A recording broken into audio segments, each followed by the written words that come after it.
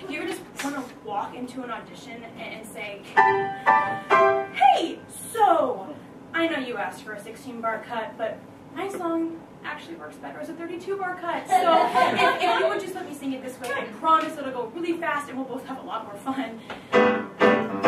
Right. No, no, no, I, I, I, I know you can tell everything you need to know from...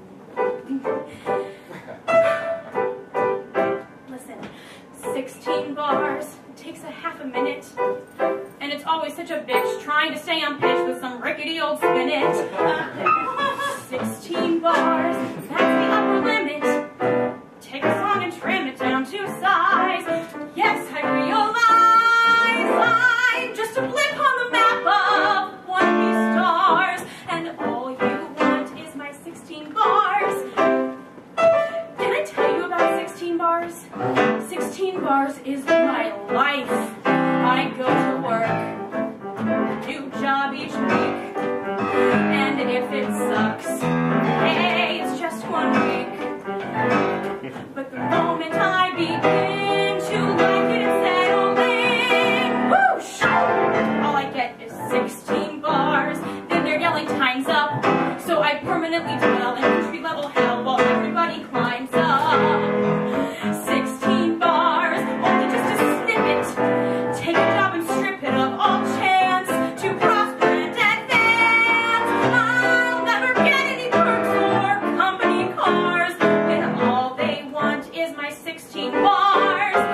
when I